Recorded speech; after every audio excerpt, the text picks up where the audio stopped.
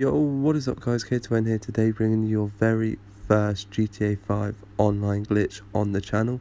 Uh, this one today is going to be a God mode working glitch after patch 1.48 uh, working on the 4th of October. And as you can see, you've got to go over to the casino and you've got to go into the penthouse. Once you've gone in there, you want to go upstairs and just go up into your apartment please please leave a like and subscribe um, and comment team um, Kier2n for a chance to win a uh, gift card. I've noticed a lot of people are doing this, so I am going to actually do it as well. So if you would like to stand a chance of doing that, please do follow those steps and turn on channel notifications. So once you've done that, what you want to go and do is you want to order a valet service to your um, your garage, and you just want to spam the option button.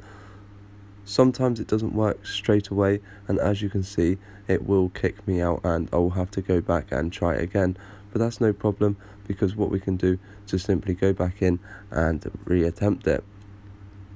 It doesn't take too much to do and it's actually a really simple thing to be able to pull off and it, the fact that you go god mode is even better because obviously if you're online you can kill who you want and do what you want and nobody will even be able to do anything about it.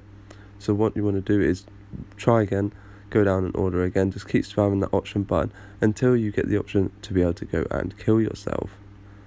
So once you've done that, go and just kill yourself and you will hear the wasted um, sound. Like when you die, you'll hear that. Once you hear that, you know you've done the right step and you just want to run over to your car. As you can see, your car will not be there even though it says it is.